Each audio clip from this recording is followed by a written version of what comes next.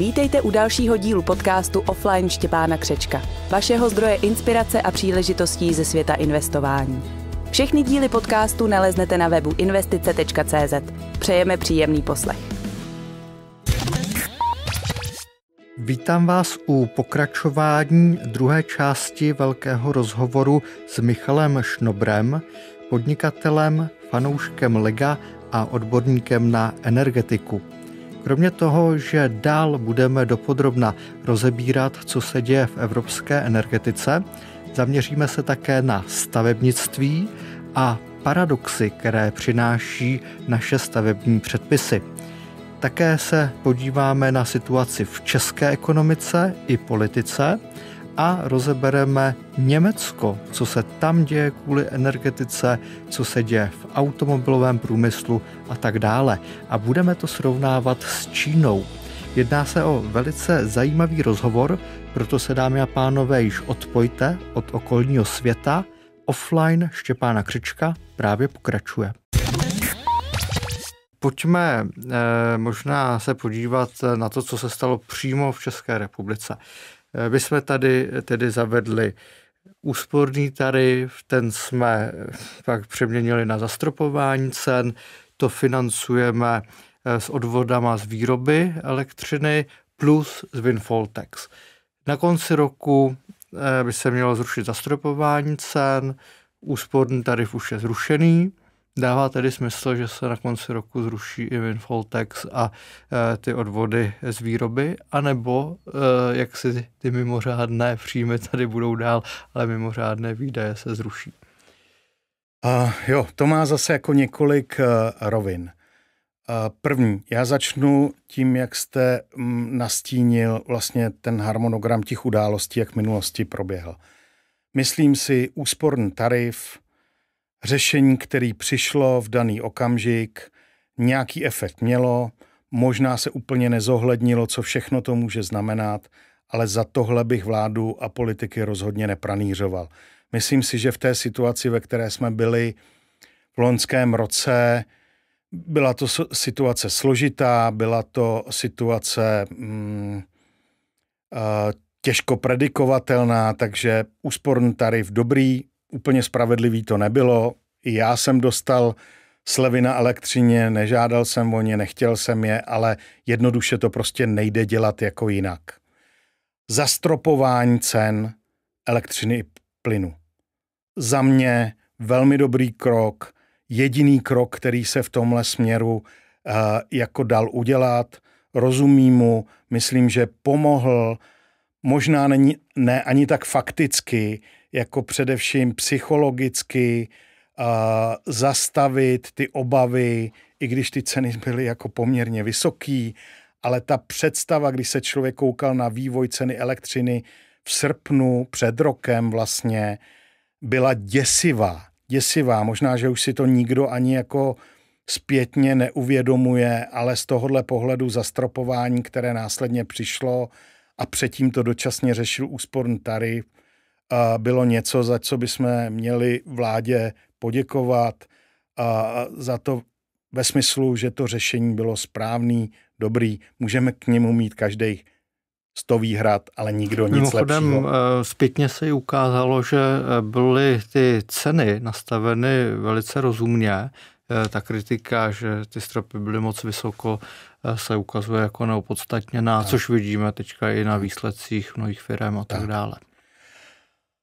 Stropy samozřejmě znamenaly uh, velkou zátěž pro státní rozpočet. To je prostě fakt. Ať to bylo spravedlivý nebo nespravedlivý, prostě uh, nad ty stropy se dostalo poměrně dost klientů, uh, spotřebitelů, pardon, ne klientů, firem a tak dále a ty kroky znovu bylo potřeba udělat. Já rozumím, že stát musel udělat opatření, aby tyto finance prostě získal na zpátek, eh, aby měl tu krizi, kterou pokryl těmito stropy, z čeho financovat. S tím provedením ze strany státu v tomhle směru už ale nesouhlasím vůbec. Řeknu eh, jednoduchý důvody. Myslím, že je poměrně jasný, že nás nikdo v tomhle směru nenásledoval v rámci Evropy. V podobném nastavení něco, co, co jsme vymysleli jako windfall tax. Prostě nikdo, žádný jiný stát nic podobného v takové míře, jako u nás bylo zavedeno, nezavedl. Navíc ten zákon, a já jsem i osobně mluvil a upozorňoval jsem na to s jeho prapůvodním propagátorem, autorem, Mojmírem, Mojmírem Hamplem a vysvětloval jsem mu, že prostě tady se neodehrávají v energetice kroky, které by šly nazvat mm, nadměrný zisk nebo mimořádný zisk, že to, k čemu došlo, není přechodné, ale že čelíme důsledků tomu, že se tady dlouhodobě neinvestovalo a že to zdražení té elektřiny na úplně jiné úrovni, než jsme byli zvyklé v dekádě předtím. A je potřeba připomenout, že Čes prodával ještě eh, v roce 2018-19 svoji elektřinu na úrovni 30 eur za megawatt na úrovni silové elektřiny. A v příštím roce eh, to bude kolem 130 nebo možná dokonce nad 130 euro za megawatt hodinu. Ale ta krize na Ukrajině, ta válka na Ukrajině způsobila jenom to, že ten přechod k tím novým cenám elektriky, elektřiny byl mnohem rychlejší, než jsme si všichni představili. Ale prosím, uvědomme si, že průměrná prodejní cena, za kterou prodával ČES elektřinu v roce 2022 byla 100 euro. 100 euro. A ve všech následujících dalších letech a na dlouhou dobu ta cena bude o dost vyšší než o něch 100 euro. To znamená, my jsme rozhodně, eh, energetika nedospěla do žádného období, kde by se jedna koruna toho zisku dala nazvat jako nadměrnou, mimořádnou, čímkoliv podobný. Naopak, ty ceny a ty zisky budou nadále stoupat. To znamená, ta formulace, to odůvodnění, které předneslo ministerstvo financí k tomu zákonu, je strašně jednoduše uh, oponovatelné a je vlastně až amatérsky napsané. Tady bych jenom uh, teda uh, upozornil na to, že zisk Česu v letošním roce bude menší než v tom loňském roce a je to dáno i tím, že Uh, už nebudou takový zisky z toho tradingu, třeba ta volatilita se uh, snížila. Na to bych počkal. Uh, nebo no, kreativita čes, účetnictví Česu je veliká. Nebo myslíte, že letos bude zisk ještě větší, než byl v loňském roce? Uh, myslím si, že nebude, logicky nemůže být, protože ano, hospodaření Česu je uh, ovlivněno opatřením jednak odvodem tržeb, to je to opatření zavedené Evropskou unii, to je vlastně například v našem případě to znamená, že Čes odvádí uh, z výroby elektřiny vše nad 70 euro za megawatt hodinu, což je úplně sci-fi cena, úplně jako nesmyslná, neodůvodnitelná, jak na ní stát jako mohl přijít a označit ji za nějakou normální cenu. A, a samozřejmě pak samotnou windfall daní, která je nastavená na úrovni 60%. Ale já jsem... Jo, kdyby nebyly ty státní zásahy, řekněme, tak potom by ten zisk byl větší, ano. Ale není, protože dochází ano. k zásahům. Ano, a protože uh, vlastně pak se ukázalo, že vlastně windfall daň, která byla původně namířená na banky, skončí tak, uh, že banky žádnou windfall daň platit nebudou, anebo velmi malou. Uh, pak se ukázalo, že ani uh, další subjekty na trhu tu daň v zásadě taky moc platit nebudou. Teď mluvím třeba konkrétně o Unipetrolu, největší firmě jako rafinérské v České republice. A ukázalo se, že jediný, kdo je bude platit, tak je ve velkém, minimálně ze tří čtvrtin, možná ten podíl bude ještě větší, tak je elektroenergetika a tam naprosto dominuje ČES. Absolutně největší peníze přijdou eh, státu od ČESu. A tam bych chtěl upozornit, eh, že v okamžiku, kdy vybíráte takovouhle 60% daň od společnosti, která je ale ze 70% vlastněná státem, tak vlastně vy zdaňujete jenom soukromé akcionáře. Protože v ostatním případě je to jenom uh, vlastně peníze, které patří státu, si stát veme jiným způsobem. A to si myslím, že bude velmi slabá stránka u soudních sporů státu, protože existovalo poměrně dost variant, jak si ty peníze pro státní rozpočet vzít legálním způsobem. Nakonec my jsme to uh, následně viděli i na dividendě Česu, kdy kdy si nakonec vlastně Čes, respektive vláda vzala z Česu mnohem větší peníze, než navrhovalo představenstvo.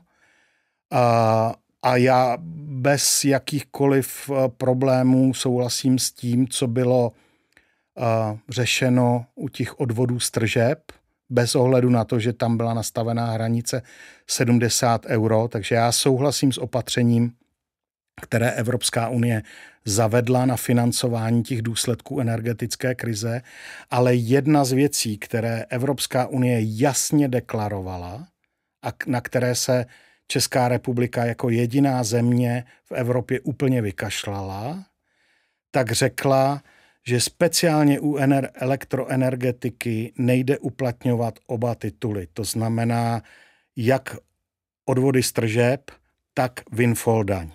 Windfall daň by měla být zaměřená na ty sektory, kde nejde uplatnit odvody z tržeb a obráceně.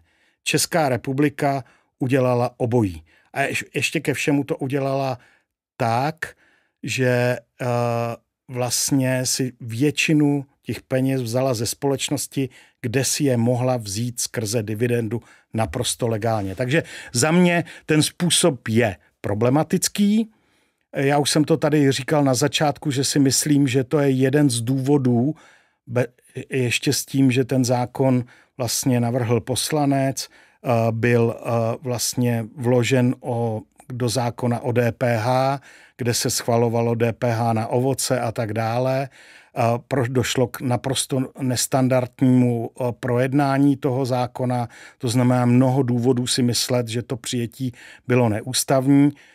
A i z těchto důvodů si myslím, že vlastně nejenže ta daň nebude pokračovat v letech 24-25, ale ona ani nemůže pokračovat, protože ta rizika pro stát v tomhle smyslu jsou tak obrovská, že by se konečně někdo měl zamyslet a, a říct si to jako na rovinu, protože tam není žádné východisko. A jakmile dospějeme do bodu, kdy k 36. 2024 bude podáno konečné daňové přiznání, ve kterém bude uh, přiznání k windfall daní, tak v tom okamžiku je volná cesta pro žaloby.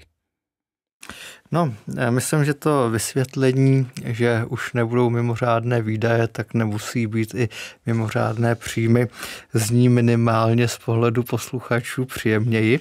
No pozor, ale, tam je potřeba říct jednu jako ale, důležitou věc. Ano, je, je dobré upozornit. Máme na, na stole rizika. státní rozpočet na rok 24.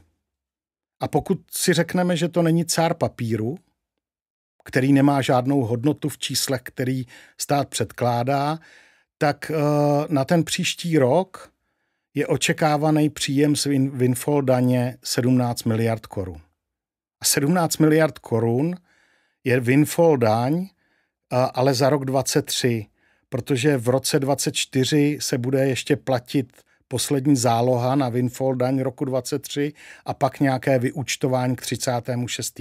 Takže by bylo férové, kdyby politici připustili, vzhledem k tomu, že předložili státní rozpočet, a nehrajme si na to, že to je cár papíru, ale má to nějakou vypovídací schopnost, tak by bylo fér, kdyby řekli, že opravdu z windfall daní už ani v návrhu státního rozpočtu pro rok 24 nepočítají. A to je prostě fakt.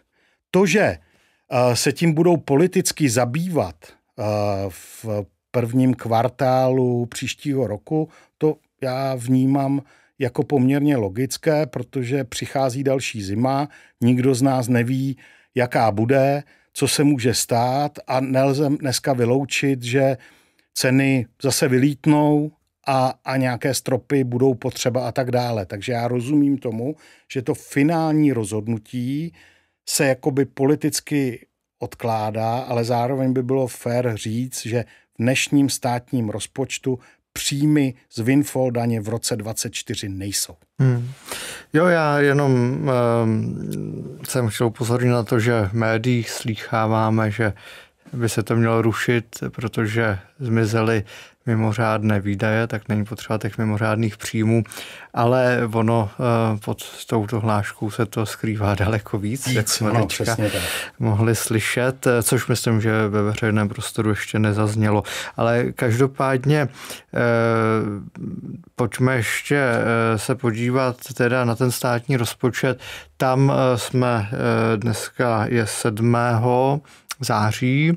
My to budeme vydávat trošku později, ale teď jenom se úřední verze toho rozpočtu dostala na vládu a budou se tam propisovat politické priority. Byť si nedovedu představit, a honí se každá miliarda, že by si tam škrtli 17 miliard na příjmech, eh, to eh, bude asi taky ještě složité, ale uvidíme. Uvidíme, s čím nakonec přijdou po tom, co se promítnou ty politické priority. Ale to je taky šílená situace, že my vlastně máme Eh, valorizace penzí, jakožto úplně největšího výdaje, pak eh, zdravotní systém, který je strašlivě drahý, tak valorizujeme platby za státní pojištěnce. Potom eh, máme teda 130% průměrné mzdy mít u učitelů, což vzhledem k tomu, jak se vyvíjí mzdy, znamená taky pravidelnou valorizaci a 2% HDP na obranu, s tím, že ekonomika logicky roste, tak i tento výdaj se bude pravidelně eh, valorizovat. Eh, jsme tedy v situaci, že ten státní rozpočet eh, začíná mít čím dál tím menší a menší manévrovací prostor, že ty vlastně ze zákona dané výdaje a kvazi mandatorní výdaje, které sice nejsou ze zákona, ale prostě se musí musí vydat. Takže nám tak nabobtnali, že jakoby skoro bylo jedno, kdo vede tu zemi, protože moc peněz na prosazování vlastní politiky už nezbývá. Máte pravdu. Máte pravdu, já jsem v tomhle asi příliš jako netrpělivý a nemám trpělivost se opravdu koukat na ty dnešní výstupy a politické, které se odehrávají v poslanecké sněmovně, a to ani na straně koalice vládní, ani na straně té opozice. Mně ten problém přijde tak zásadní, že já bych vlastně a vzhledem k náročnosti a složitosti a, a, a obtížnosti prosadit, prosadit nějaké reformy, které by to, co vy jste popsal, nějakým způsobem změnili a nasměrovali způsobem tak, aby jsme otevřeli opravdu lepší budoucnost eh, v tomhle směru pro naše děti a, a tak dále. A tak já to vidím prostě jako mnohem radikálněji v, v tom smyslu, že já bych nejradši v tomhle okamžiku a, a uznávám, jsem příliš netrpělivý, řekl tím politikům z opozice a z koalice, prostě si tam nafackujte a dokud nebudete všichni sedět u jednoho stolu a tahnout za jeden pro vás ve prospěch této země, tak abyste se dohodli na tom, jaké reformy se udělají v těchto zásadních oblastech, tak ty vaše divadla, které tam předvádíte, tak postupně ty lidi přestanou bavit. A my už jsme opravdu dospěli do bodu, kdy ten zásadní politický koncensus zleva doprava bude naprosto nezbytný, protože, jak vy jste řekl, ten problém už půjde od politické vlády k politické vládě a ty čtyři roky jsou vždycky strašně krátká doba na to, aby se vlastně připravilo a zrealizovalo konkrétní řešení. Takže nám nezbývá opravdu čekat na nic jiného, než že se dostaneme do tak katastrofální situace, a v tom jsem pesimista, když sleduji naši politickou scénu, že ten problém nebudeme schopni vyřešit na naší úrovni a budou ho za nás muset uh, uh, vyřešit naši věřitelé, budou ho muset za nás vyřešit instituce Evropské komise, Mezinárodní banky a tak dále, protože my prostě nejsme schopni uh, politicky si ten problém řešit. Všechny ty řešení, se kterými přichází tato vláda, jsou za mě kosmetický, drobný, všichni se předhánějí, jak vlastně jedni říkají, směřujeme k Řecku, druhý říkají rozhodně ne, my jsme ti, kdo zbaví tuto zemi, tu zátěž.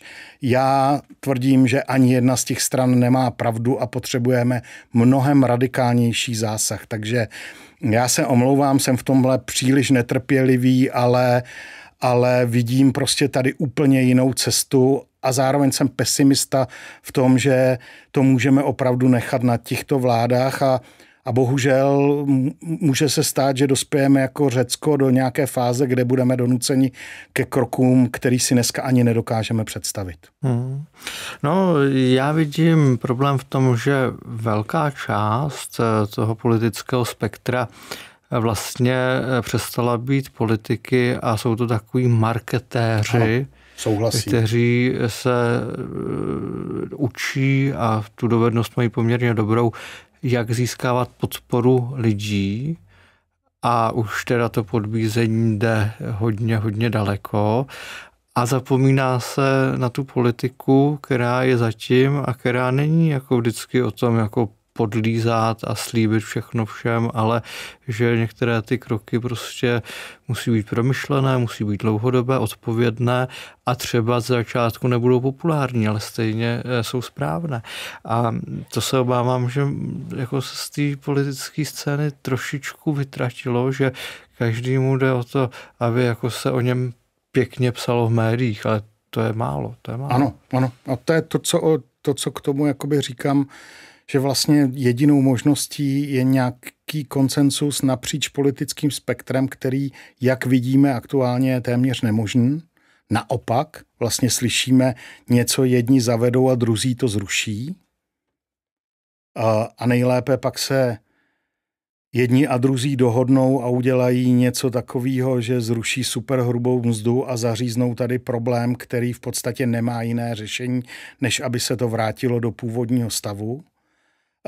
A to v takovéhle situaci jsme opravdu bezradní a tohle je ten hlavní důvod těch problémů, kde jsme.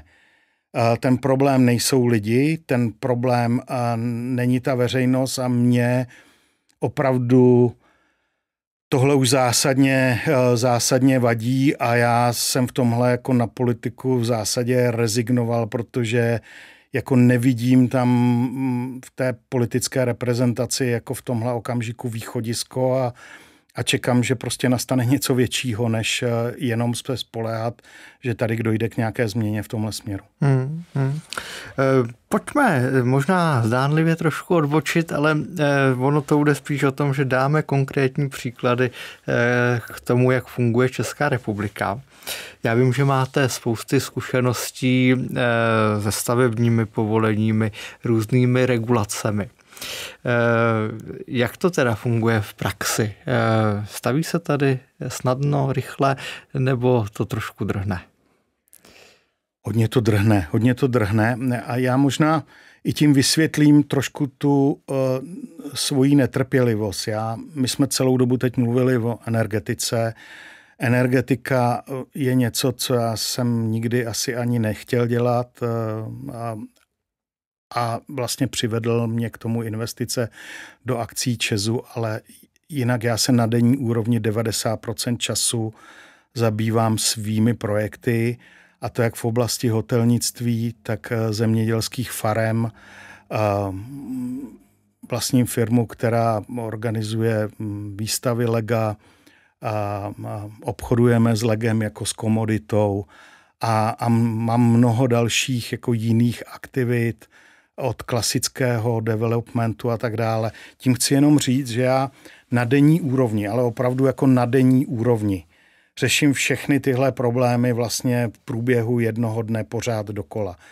A narážím na tu realitu toho běžného života. Jednou z nich eh, jsou stavby, stavění, mm, development, stavební povolení a za sebe a, a zase musím ještě jakoby říct, že určitě nereprezentuju tady velké stavební developerské firmy, ale investora, který vydělá peníze, ty peníze uh, chce investovat na území České republiky, protože je patriot, protože tuhle zemi miluje, protože to chce té zemi jako vrátit, protože tady mám místa, které jsou pro mě mimořádně vzácný a snažím se v těch místech něco vybudovat, ale ne pro sebe, ale proto, abych dal možnost eh, se s těmi místy seznámit a ukázat je i, i prostě široké veřejnosti a dalším lidem.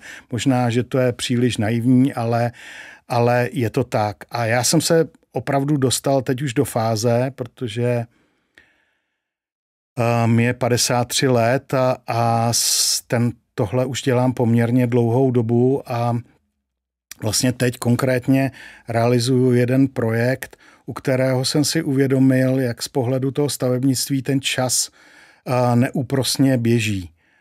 My stavíme hotel v rámci areálu na místě, kde byla kdysi areál pohraniční stráže, který byl v podstatě zdevastován a vždycky to byl stavební pozemek a my tam stavíme.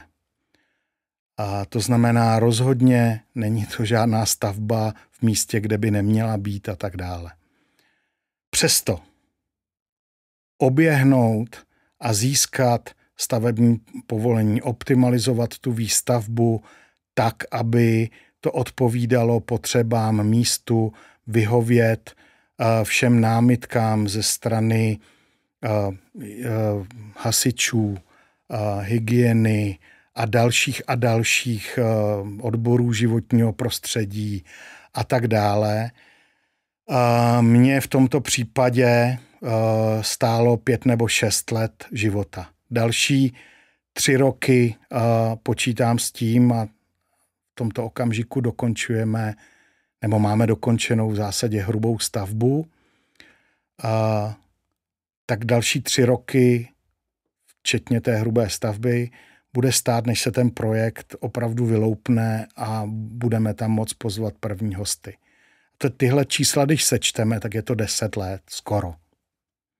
A když si uvědomíte v rámci toho života 10 let, tak je to strašná doba na to realizovat takovýhle projekt, který rozhodně není levný.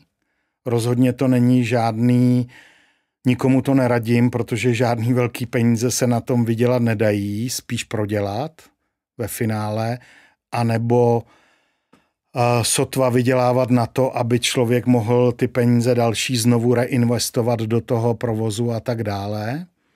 A když si dneska, jak už jsem řekl, kolik mi je let, představím, že bych začínal s dalším projektem a znovu mu obětoval v zásadě 10 let života, tak upřímně při tom, jak to u nás funguje a nevidím žádnou změnu. Vidím to jako obrovský problém. Vidím to jako něco, co podvazuje uh, schopnost téhle země se dostat dopředu, uh, schopnost uh, se změnit a stát se opravdu um, ekonomikou, která bude v rámci té Evropy na špici, tak eh, tohle vidím jako zásadní problém.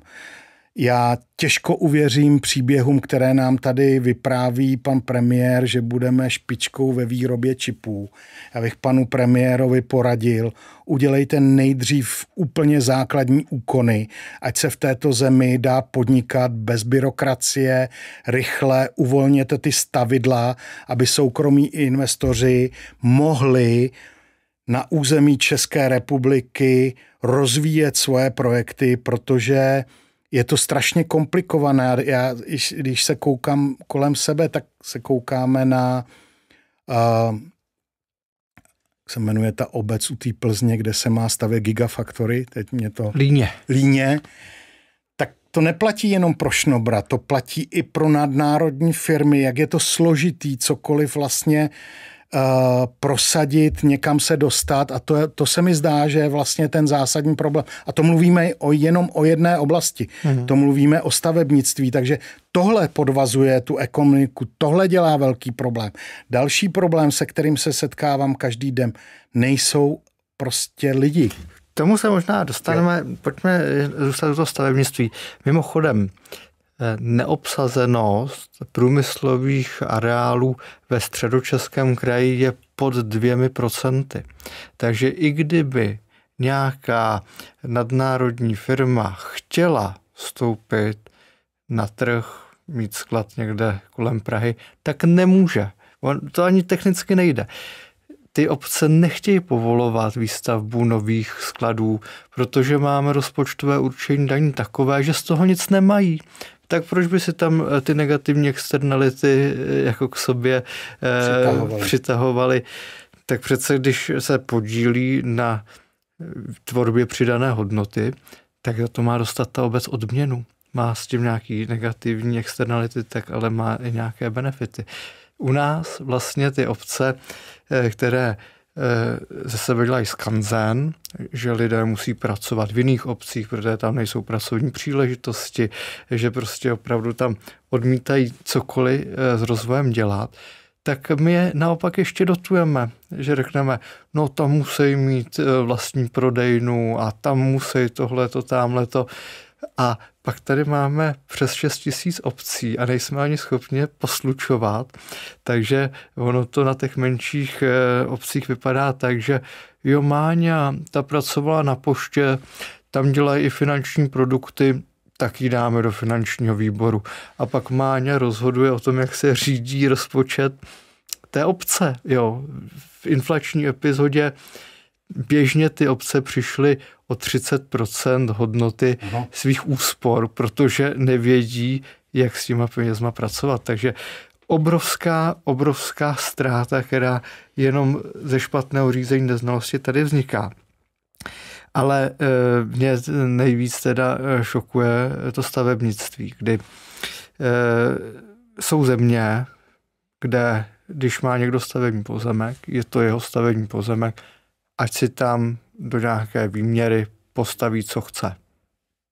Proč pro Boha nám tady říkají, že tady musíme mít takhle tu příčku, jinak to neskolaudujeme. Říkají, jakou barvu má mít omítka, a nebo jestli bude mít omítku nebo kámen jako obložení. Vy konec konců máte ještě šílenější zkušenost, tak jestli se o ní podělíte. Jo, to, ale to není jako jedna zkušenost, to je prostě realita a každého projektu. To, to nejsou výjimky, to jde napříč eh, vlastně touto zemí, ať jste na severu nebo na jihu nebo na východě. Jednak se dostáváme v některých případech do situací, že eh, třeba obsazenost stavebních úřadů v některých místech, zvlášť těch jako příhraničních a tak dále, není dostatečná. To znamená, už tam se dostanete do problémů v tom, že vlastně nejenže vy neprojdete, ale on nemá kdo rozhodnout vůbec. Nemá na konci kdo dát to razítko a podepsat se pod to, aby člověk mohl něco dělat. To je jako jedna věc. Druhá věc, že samozřejmě velmi často na některých těch pozicích pracují potom lidé a já to vlastně jako tomu rozumím a rozhodně jako to není výhrada vůči těm lidem, kteří ani nemají vzdělání, nemají rozhled na ty pozice, které dělají, aby mohli rozhodovat o tom, o čem rozhodují. Protože vy si najmete vystudované architekty, vy si najmete lidi, kteří mají celosvětové zkušenosti, který už během studií byli v zahraničí, který čtou časopisy, koukají na internet, sledují svoji konkurenci v zahraničí. Nakreslí vám krásné projekty a ty projekty vám následně zdegraduje ten průběh projednávání těch staveb, protože velmi často do toho zasahují lidé a, a, a, složky toho státu, které vlastně tu stavbu jako takovou změní úplně k nepoznání. To znamená, i moje zkušenost, nakonec velmi často se můžete dostat do stavu, že začnete s něčím, nad čím vám srdce plesá radostí a chcete, aby se to zrealizovalo a na konci po všech úpravách vlastně přemýšlíte, jestli vlastně do toho vůbec jít, protože se sedlová střecha nebo plochá střecha mění na sedlovou, protože se kamenná omítka změní na nor, tak obklad stěn mění na omítku, protože zelená barva, kterou odpřemýšleli ti k tomu rozumí, se nelíbí někomu na úřadě a vy s ním nic nenaděláte. Nástrojem je nástroj vlastně donucování podřizovat se tímto věcem, že ti lidé na úřadech nechtějí vůbec rozhodnout. Kdyby aspoň rozhodovali ve lhůtách, ale oni nerozhodují, protože kdyby rozhodli a vás zamítli, tak vy se aspoň můžete odvolat nadřízenému orgánu, ale tím, že se nedodržují žádné lhuty, tak vlastně nemáte žádnou šanci, vy nemáte možnost se ani odvolat. Jsou samozřejmě různé odbory, speciálně životního prostředí v těch inkriminovaných oblastech, kde se opravdu jako hodně staví, developuje, které vlastně vůbec nejsou schopni personálně rozhodovat. Tam vlastně vy přijdete za těmi lidmi, kteří na těch odborech pracují, ty jsou zavaleni, doslova zavaleni papíry, a, a když se zeptáte na svůj případ, který měl být rozhodnutý dávno, tak začnou lovit v šanonech, který se válej od podlahy ke stropu a tak dále. Jo. To, je, to, to je zoufalá situace, uh, která samozřejmě je uh, zásadní problém toho, jak to funguje a bohužel nevidím ani teď v dohledu nějakou možnost, aby se to jako rychle změnilo. Já ji vidím. Vy vidíte. Já jsem, já jsem tvrdý, no. Fikce, fikce souhlasu. Prostě když to ten úřad nestihne, schválil ano. to, jeho ano. chyba. A jestliže to bude opravdu takový problém, že něco vznikne na základě fikce souhlasu, no tak odpovědnost nese ten úředník a musí za to níst následky. Jasně, ale a těch je to úředníků je strašně málo, jsou špatně placený a na těch úřadech se velmi často setkáte s tou realitou, že, se, že je tam poměrně velká fluktuace. To znamená, že ty lidi si mezi sebou ani nejsou schopni ty pří, případy vlastně předat a o to více se to zdržuje. To znamená, to, co říkáte, na to bych skoro řekl, že musíme být trošku připraveni, protože jinak uh, stane, nastane Armagedon v tomhle směru. No, aspoň se začne stavět.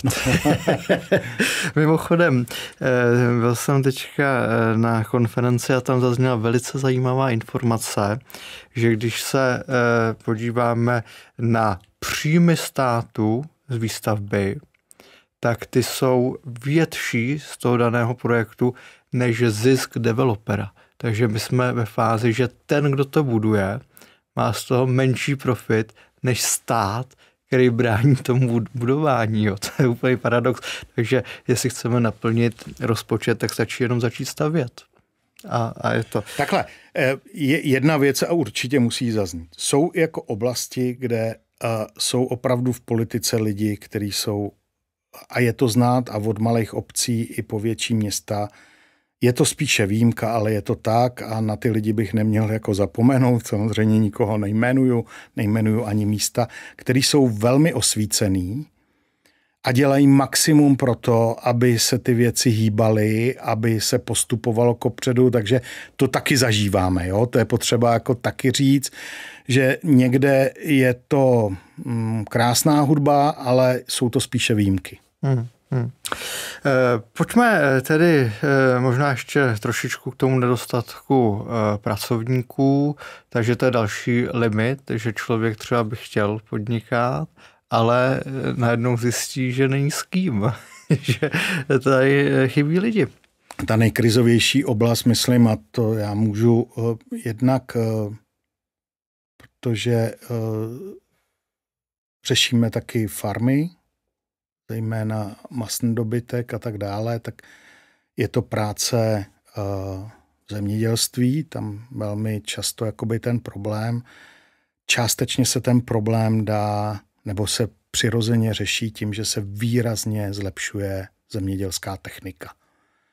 Vlastně na to, co bylo potřeba horda lidí, tak dneska už díky technice, která opravdu je neuvěřitelná. Já vždycky říkám, že jsem, si, že jsem si konečně koupil Ferrari, ale ono to není Ferrari, on je to traktor. Jo? A, a jakože bych si Ferrari nikdy nekoupil, ale a, a, takže tam je ta jedna oblast, prostě lidem se mm, nechce úplně a pořád uh, je to problém sehnat v některých oblastech lidi, ale úplně flagrantní je ta situace uh, v hotelnictví a celkově cestovní ruch. Nemyslím si, že v Praze, tady samozřejmě těch cizinců a tak dále, je poměrně dost, ale když jste někde v pohraničí nebo v těch rekreačních oblastech, tak je to opravdu jako složitý. My už trošku máme jako výhodu, protože jsme zaběhlí eh, v těch oblastech, takže už se nám občas stává, že u nás lidi chtějí i pracovat, eh, ale obecně a je potřeba to říct na rovinu, tenhle sektor drží nad vodou ukrajinští pracovníci drželi ho vždycky, drželi ho i přes válkou, před válkou, ale teď je to ještě jakoby výraznější a už to zdaleka, zdaleka nejsou eh, jenom ty profese eh, pokojských, ale už jsou to jako profese techniků, kuchařů, servír, servírek, eh, číšníků. Je to prostě všeobecná oblast a troufám si říct, že bez eh, Ukrajinců se v této oblasti vůbec eh, nedá fungovat dál, takže my se hrozíme jenom situace. Já samozřejmě Ukrajině ze srdce přeju, aby ten konflikt rychle skončil, aby to utrpení lidí zůstalo a zároveň pořád jako doufám, že někteří ty Ukrajinci tady zůstanou a že se neúplně, ne, nebo že nám dají aspoň čas, na to se nějak zmobilizovat a něco v tom udělat, protože rychlý odchod by byl katastrofou pro některé, pro některé sektory. Tak to prostě vidím já. Hmm. Mimochodem, e, v téhle souvislosti si uvědomuji, jak je strašně e, zajímavé, že angličani nadávali na středoevropany, Poláky, Čechy, Slováky a přitom po Brexitu se ukázalo, že právě na nich tam mnoha odvětví stála a už taky vycouvali z toho, jakože tady nechceme ty středoevropany a zase už tam eh, v pohodě umožňují jejich zaměstnávání ale zároveň ta britská společnost, neříkám, že všichni, ale podstatná část je naladěna tak, že prostě ty středoevropany nemá moc v lásce. A teďka jako střih, teď my zažíváme to stejný, že bez těch Ukrajinců by tady mnoha odvětví fungovala velice komplikovaně, určitě ne tak produktivně jako teď, ale podstatná část Čechů, a myslím si, že bohužel s přibývajícím časem se ta situace spíše zhoršuje, ty Ukrajince jako nemá moc v lásce. Tak eh, to, co nám vadilo na Angličanech, teď sami děláme Ukrajincům. Není to, není to paradox? Je, je to paradox a já mm, zase mluvím teď jako z mé zkušenosti. Samozřejmě, že i uh, v rámci uh, těch firm, které, kde ty Ukrajinci jsou, a, tak tu a tam vznikne nějaký problém. Tak jako vznikají s českými zaměstnanci. A to je prostě, to patří k tomu sektoru a je to tak. Ale jinak je poměrně zřejmé, jasné a moje zkušenost to může jenom potvrdit, že máme strašně pozitivní zkušenost v tom směru, že oni chtějí pracovat, snaží se.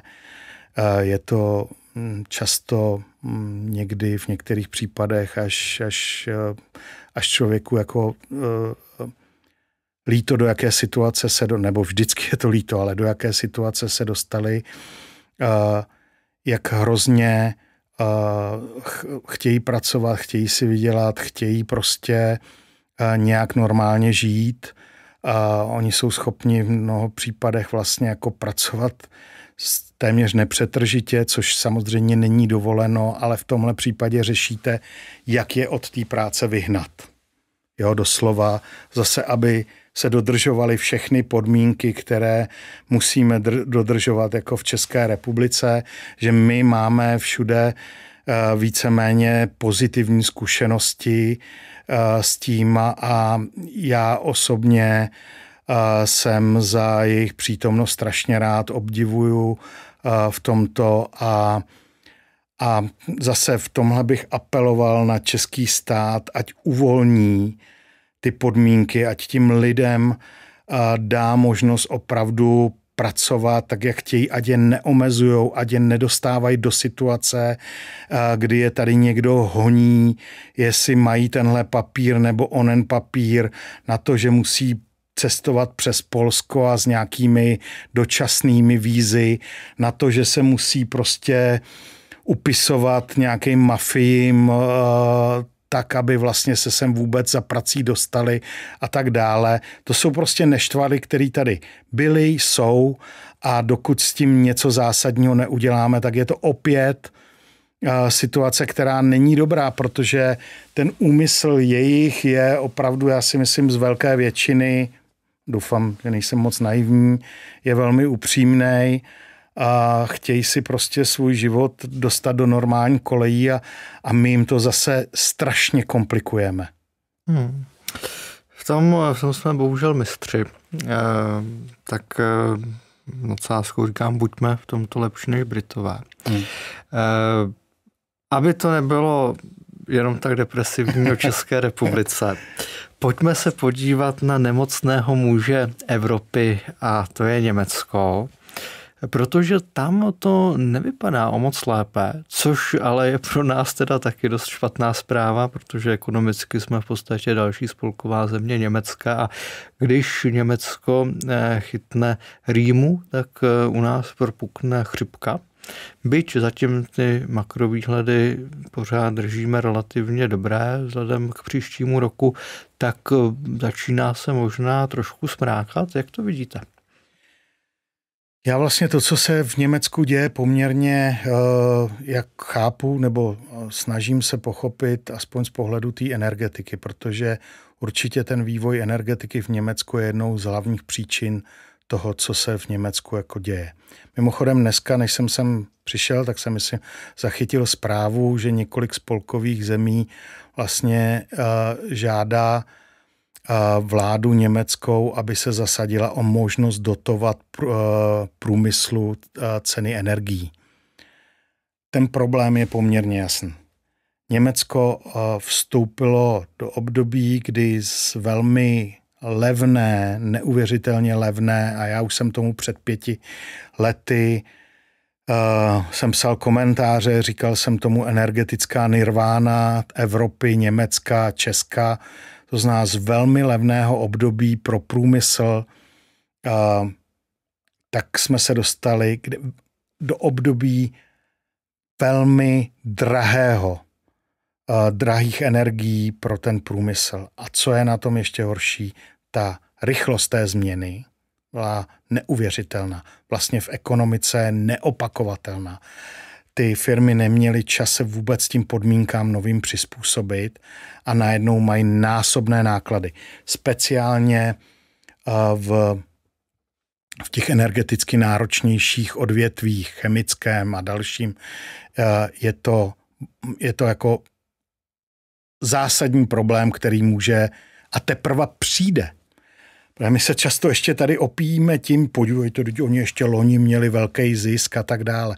Ale to se týká spousty firm. Já jsem přesvědčen, že dokonce spousty firm i v potravinářském průmyslu. To je poměrně jednoduchý. My, spousta firm a mimochodem i mých firm ještě v loňském roce tady žila ze zafixovaných cen plynu. Já jsem měl dlouhodobě zafixované ceny plynu na úrovni 600 korun za megawatt hodin. A to se to jako žilo. Ceny vystoupaly v mnoha odvětvích a na druhou stranu ty, kdo měli dobře sjednáno energie, tak, tak ještě žili z těch velmi levných.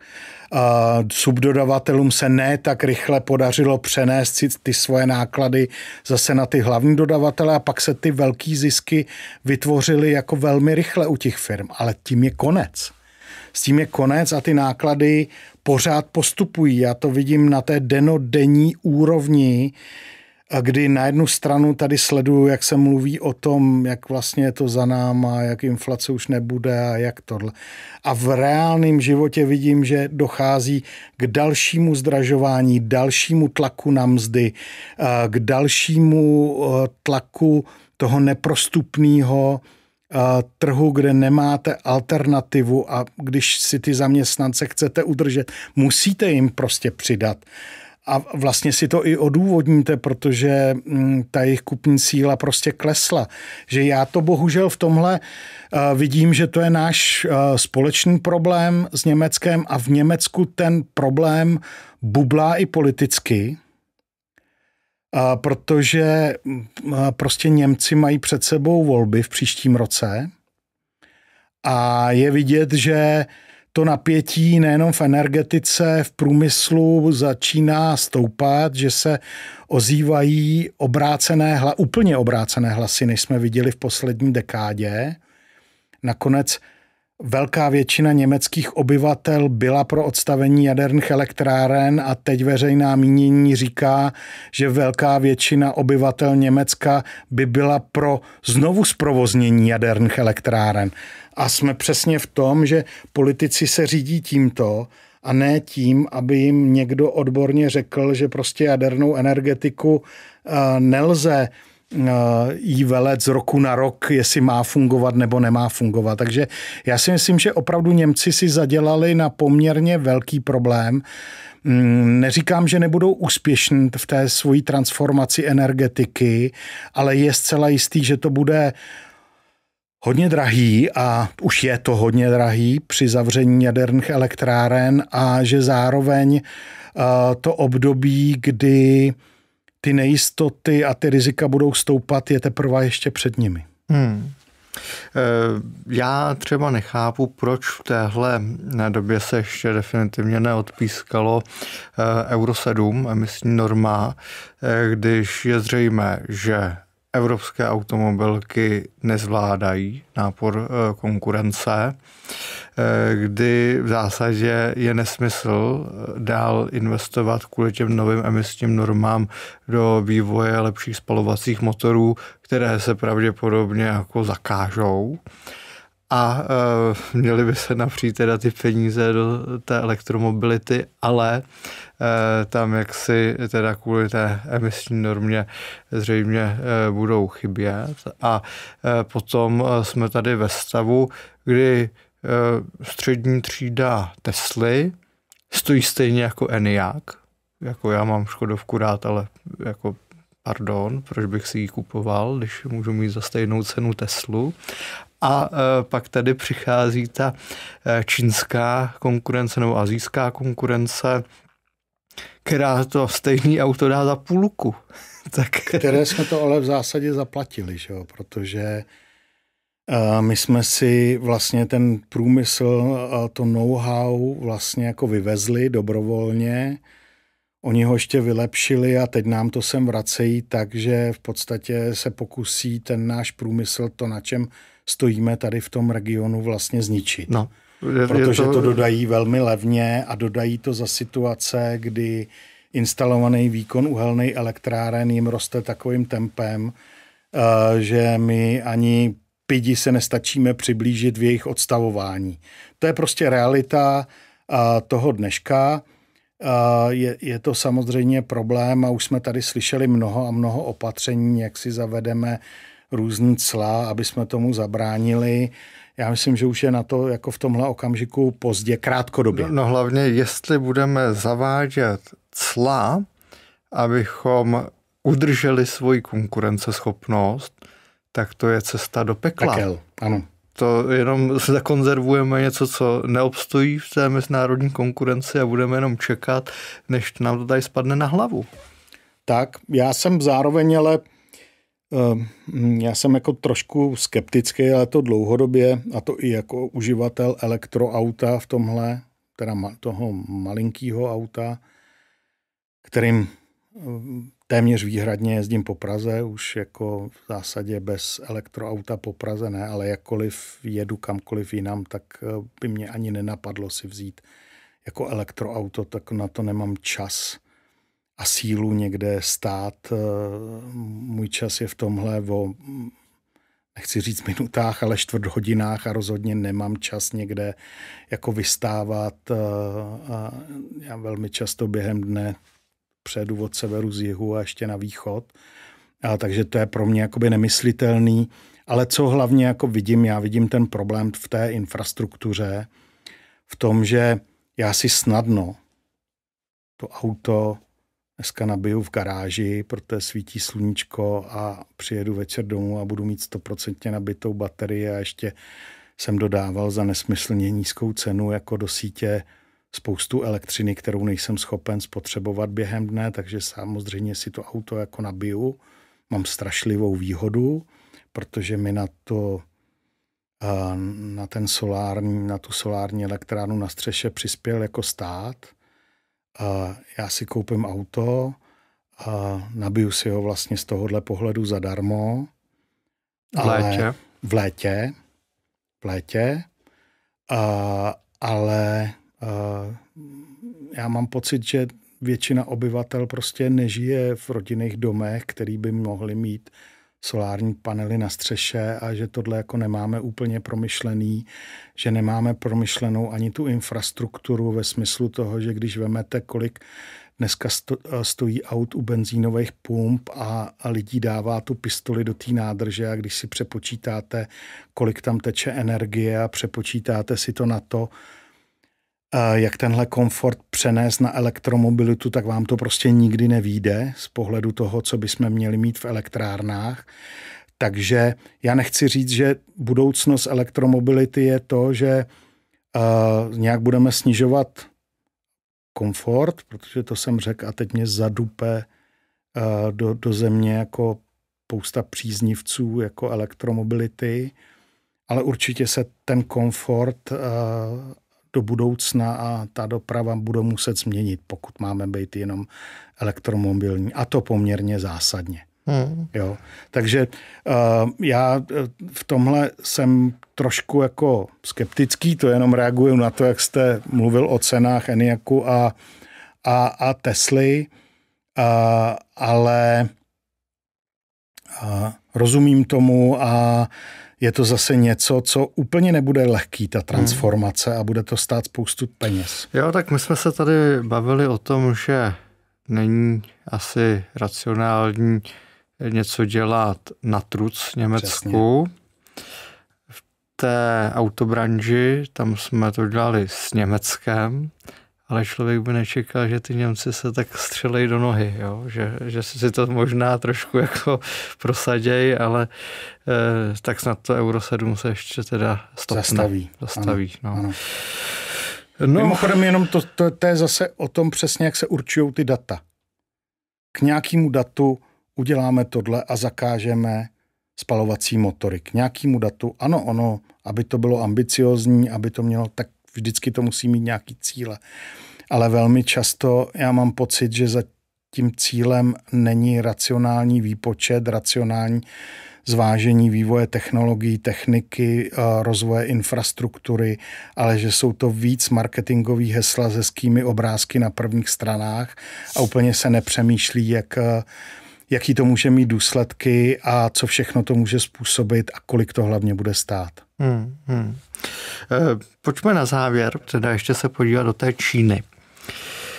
Tam to taky nevypadá dobře. Eh, Evergrande v podstatě v troskách, peníze na sanace tamního realitního trhu eh, moc nejsou. Mimochodem, když po roce 2008 se propadal ten americký trh s realitama, ty propady tam byly 65 až 60 v Číně jsme přes 80 eh, u některých eh, nemovitostních fondů.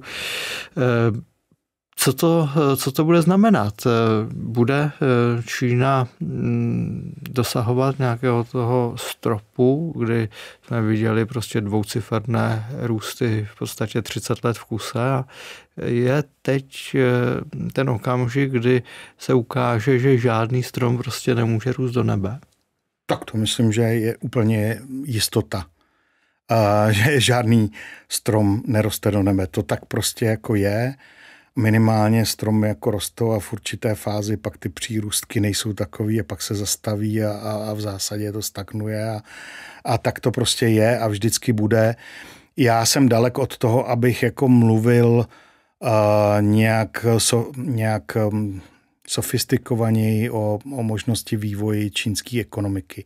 Já tam vidím jako jedno veliký nebezpečí, a to vzhledem k tomu, jaký je tam politický systém a co všechno je tam možné a jak se to uplatňuje, tak já se jenom obávám, aby jakýkoliv výraznější otřes té, ekonomiky uh, nespůsobil nějaké politické pnutí, které by tam ještě mohlo přispět k dalšímu utahování, ještě většímu utahování, ono už je utaženo teda dost, ale ještě většímu utahování uh, uh, těch podmínek uh, na tom trhu, protože my jsme si za tu dobu, a teď myslím západní svět, Spojené státy, Evropu, vybudovali ve všech směrech na té Číně závislost v mnoha oblastech, včetně například farmacie a tak dále. A vlastně my teď jako zjišťujeme, že už vlastně bez té Číny nejsme schopni úplně fungovat. Stačí, aby v Číně byla stávka v nějakém přístavu a, a, a dějou se jakoby hrozný věci. A, a nějaké velké ekonomické otřesy v Číně si myslím, že by se u nás promítly mnohem rychleji a mnohem více, než si dokážeme představit, nehledě na to, že by to mohlo mít zásadní vliv na to, jak se budou vyvíjet obchodní vztahy a teď myslím reálných soukromých korporací, které podnikají v Číně a tak dále. Víme, jak to co se děje v Rusku, víme, co se jako tady může stát. Víme, jak některé státy v tomhle přistupují, když se podíváte na aktivity Indie a tak dále, jak se koukají na nějaké konflikty na Ukrajině, Rusko, jak využívají té situace, kupují si levně suroviny z Ruska, využívají té situace, které, se kterou my tady jako bojujeme tak jsem opravdu trošku v napětí toho, jak to může um, tam skončit a, a doufám, že prostě to nějak ustojí a jsem si vědom, že ty růsty se prostě jako nebudou asi opakovat a že teď budeme svědky nějakého období uh, snad nějakého rozumného přistání té ekonomiky, aby to nevyvolalo další děje v politice, společnosti Teda pokud by byly ty změny pozitivní, tak jako proč ne, ale, ale to se asi jako těžko stane v těch jejich podmínkách dneska, takže aby naopak nedošlo ještě k většímu utažení těch podmínek. To možná eh, je nakonec ten pěkný závěr, že byť eh, v detailu vidíme, že Česká republika má obrovsky mnoho problémů, tak z toho globálnějšího pohledu jsme pořád taková klidná roklinka, kde se... Tohle musím říct jako eh, na závěr, že to je věc, kterou já si uvědomím po každý, když se vrátím od někud jsem na zpátek uh, do České, jsem velký patriot v tomhle směru, patriot jeho český, ještě navíc. A vždycky si říkám, že přes všechno, co se tady děje, by jsme někdy měli docenit, v jak krásné zemi žijeme, co tady všechno máme, jakou máme historii, jakou máme mm, přírodu, máme jinou na severu, na jihu, a jak vy jste řekl, Roklinka, máme tady opravdu neuvěřitelně rozmanitý podmínky, krásnou historii a hlavně pořád eh, se nám tady při všem, co se děje, žije krásně. Mm. Ano, jako všude jsou tu problémy a určitě jsou problémy, že, že někteří lidi to mají těžký v životě, a, a, ale jsme pořád bezproblémová, krásná a poměrně bezpečná země, kde, kterou, by nám, kterou si myslím, že nám svět může závidět. Ano, to podepisuji a e, moc krát vám děkuji za, za tento rozhovor. Já děkuji taky za pozvání a někdy příště zase tedy. Budeme se těšit. Díky.